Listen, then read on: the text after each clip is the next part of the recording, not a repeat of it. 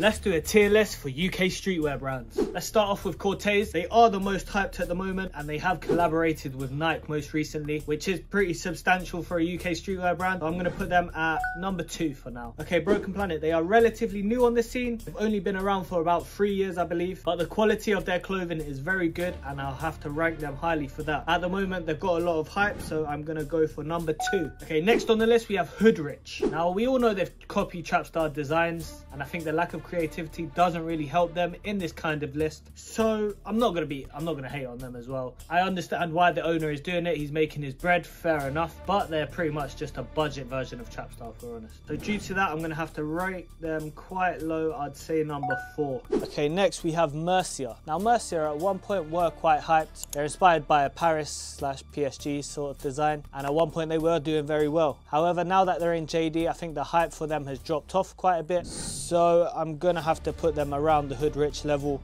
I'm gonna say number four for Mercier. Okay, now it's time for Trapstar. You guys knew this was coming.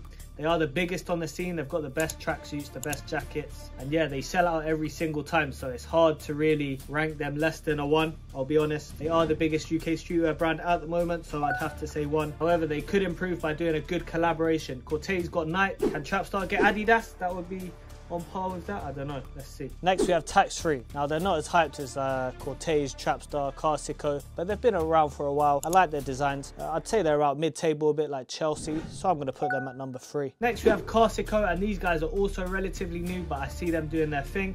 I like the way they do their advertising. It's similar to Corteiz. And yeah, they are selling out. They're pretty unpredictable with their advertising as well. But I'd say they're not as hyped as the other brands in bracket too. So I'm going to give them a 3 for that. And I'll be honest, if I'm giving Carsicko 3, I can't give Hoodrich 4. So I'm going to have to say Hoodrich 5. No disrespect, but just, just is what. Okay, next we have Represent. Now, what is everyone's opinion on this? I do like them personally, but you could say they're a rip-off of Essentials Fear of God. Uh, so I'll let you guys decide that one. Put which number you think Represent should be down in the comments.